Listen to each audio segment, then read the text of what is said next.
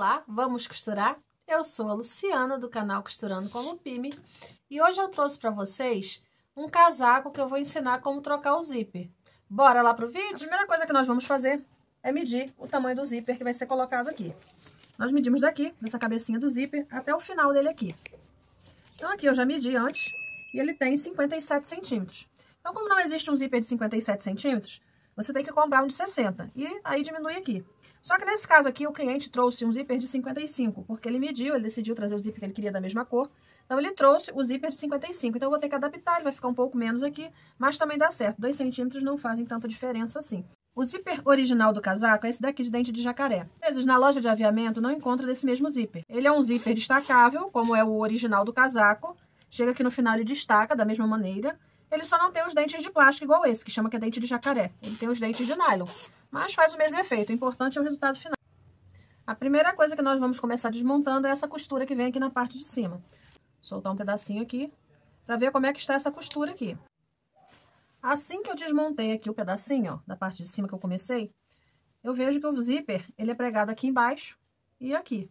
Então, o que, que eu vou fazer aqui? Soltei esse pedacinho, venho aqui dentro, ó, solto o pedaço que tá por dentro também, ó. O zíper tá dobrado aqui, soltei aqui a costura, ó, Solta essa costurinha aqui. Aí, ó, ele já vai soltar aqui, ó. A parte de trás também, ó. Eu soltei o pedacinho de cima só pra ver como estava embaixo. Aí eu soltei aqui, ó. Aí eu vou continuar nesse mesmo sistema, ó. Vou abrindo aqui e vou desmontando assim, ó. Vou cortando a linha aqui no meio da costura. Se conseguir puxando e ele soltando, também vale. Mas tem que ter cuidado para não rasgar esse tecido. Se o tecido for mais antigo assim, for um casaco bem antigo, pode rasgar. Então é melhor, ó, que vai cortando assim, ó. Você solta um pedacinho e puxa um pouquinho. Aí ele vai arrebentando as linhas, que as linhas já estão aqui há muito tempo, então elas estão um pouco podres, né? Ó.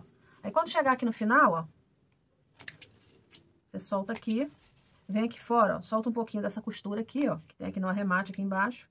Ele arremata aqui, tem que soltar um pouquinho essa costura, porque senão ele não solta. Aí você vem aqui, ó, dá pequenos piques aqui, ó, pra ele poder soltar o zíper nessa parte aqui. Sempre com cuidado pra não estragar o tecido. Terminei de soltar a parte de cima, ó. Soltei aqui embaixo, ó. Soltei esse pedaço aqui, ó. Desmontei um pouquinho aqui. Soltei ele aqui pra poder soltar essa parte aqui. Aí eu vou voltar aqui pra cima, nessa parte aqui que fica pro lado de dentro, ó. Que ele ainda tá agarrado aqui. Vou fazer o mesmo sistema. Vou ir dando pequenos piques, ó, com a tesoura e puxando. Se der pra puxar direto, pode fazer, ó. E ele já soltou. Essa parte aqui é a parte final do casaco, a parte de baixo. Quando a gente solta aqui, pra poder soltar essa parte do zíper, ele solta esse arremate aqui. Então, antes da gente começar a recolocar o zíper, eu prendo o arremate aqui na direção de onde era a costura e abro assim, ó, a costura e passo a costura aqui, sem pegar na parte de cá, para quando eu for colocar o zíper, isso aqui não ficar saindo e dar problema na hora de encaixar o zíper. Costura só um pedacinho mesmo, um pedacinho bem pequenininho assim, ó. Só para prender a ponta, porque se costurar demais, ela pode prender na parte de trás e depois ter que ficar desmontando. Então agora nós vamos começar a colocar o zíper. Separa essa parte de cima, vamos colocar o zíper nessa parte de dentro primeiro. Então, vamos lá. Aqui é a gola, o zíper virado para cima, com o carrinho virado para cima. E essa daqui é a parte de dentro do casaco. A parte do avesso da parte de dentro do casaco. Então, eu vou encaixar o zíper aqui, vou abrir um pouquinho. Vocês lembram que eu falei lá no início do vídeo que o zíper está um pouco menor do que o tamanho total da extensão aqui da, da parte da frente do casaco. Então, o que, que eu vou fazer aqui? Eu, na hora que eu for encaixar aqui, eu não vou encaixar ele aqui, pertinho do final. Eu vou deixar mais ou menos abaixo um centímetro. Eu vou deixar um centímetro em cima e um centímetro lá na parte de baixo, sobrando também para que ele fique a divisão exata. Junto aqui a beiradinha, deixo o espacinho aqui sobrando de um mais ou menos um centímetro. Vou colocando os alfinetes. Assim que eu coloco o primeiro alfinete, eu vou virar esse casaco para cá. Ele tá aqui, virado do avesso para cima, né, a parte de dentro. Coloquei o zíper aqui, eu vou virar ele assim, ó. Para não perder a posição do zíper, eu deixo o zíper preso primeiro. Então, eu vou virar o lado de dentro do casaco e o zíper vai ficar virado para baixo. Quando eu viro aqui, dá para ver que a parte de dentro do casaco, ela tem uma marca de costura. Então, na hora que eu for costurar, a linha tem que pegar aqui novamente. Se eu costurar pelo lado do zíper, corre o risco de eu costurar demais para dentro ou não pegar a beiradinha. Então, para que pegue a beiradinha total, eu faço isso. Eu aprendi com o alfinete, ele está nessa parte aqui, de dentro do casaco. Quando vira para cá, os alfinetes estão aqui, que é onde vai ser passada a costura. Aí agora eu vou passar pro lado de cá.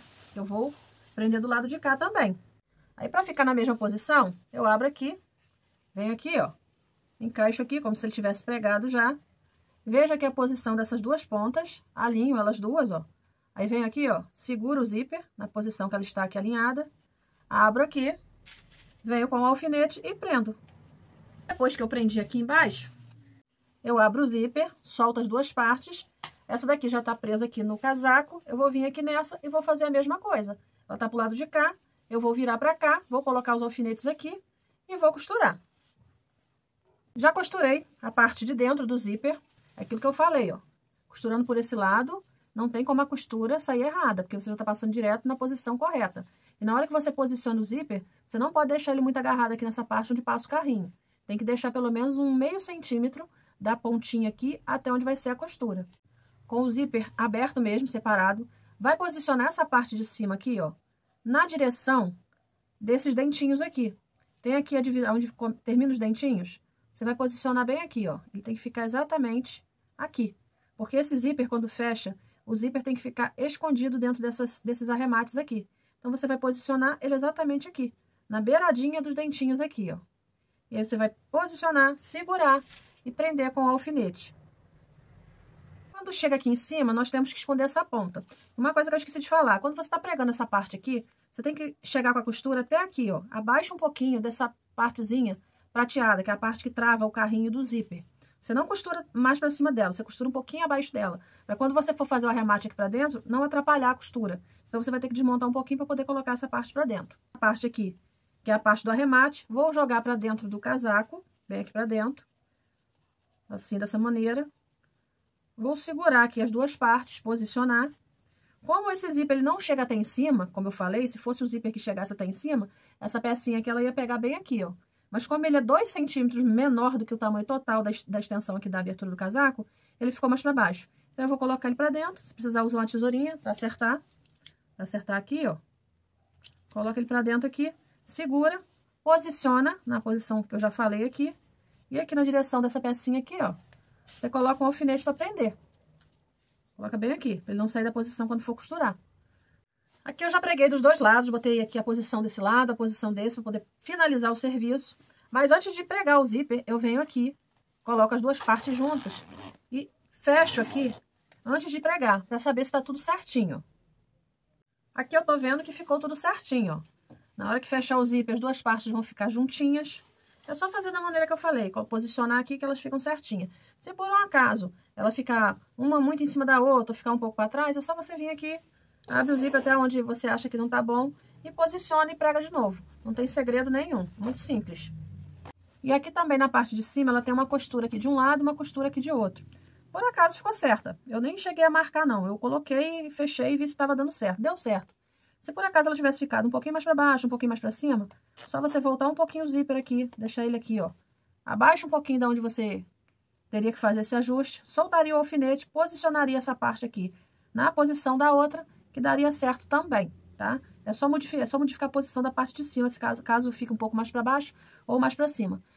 Aqui eu tô costurando e eu já vim com a máquina até aqui, dei um retrocesso e agora eu vou virar a máquina para cá para fazer o arremate. Mesmo que eu tenha aprendido aqui por baixo, antes de pregar o fecho, eu tenho que pegar, ó, e fazer esse arremate aqui de volta. E eu estou usando calcador mais fino, porque o calcador normal, que geralmente se usa, se eu for pregar essa parte aqui com o calcador normal, ele agarra aqui nessa parte dos dentinhos, porque está muito próximo e acaba mastigando a costura. E quando for costurar nessa parte onde fica o carrinho, começa daqui, vem pra cá, faz o retrocesso aqui e começa a costurar. Para passar aqui, você tem que puxar o carrinho um pouco para cima, para poder costurar normalmente. Ó. Quando você costurar um pedaço bom, que você veja que já costurou, você volta com o carrinho para cá, suspende a sapatilha, puxa o carrinho para trás, reencaixa aqui, ó, para poder continuar costurando. Tá pronto, terminei o serviço, passei a costura aqui, terminei, tá tudo direitinho, ó, abrindo, fechando, o encaixe tá aqui, ó, ele desencaixa. E é isso aí. Esse foi o vídeo de hoje. Se você gosta desse tipo de vídeo, não deixe de se inscrever, deixar seu like para ajudar nosso canal a crescer. Até o próximo vídeo. Tchau!